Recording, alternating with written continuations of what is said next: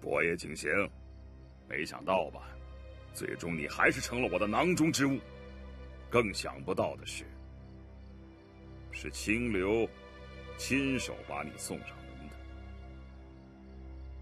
江清流，亏我对你百般维护，你居然把我当做交换条件卖给了江隐天。你连我们的孩子都可以利用，我们之间早已没有情谊。江倚天，今天我并非输给了你，而是输给了我最信任的人。我无话可说。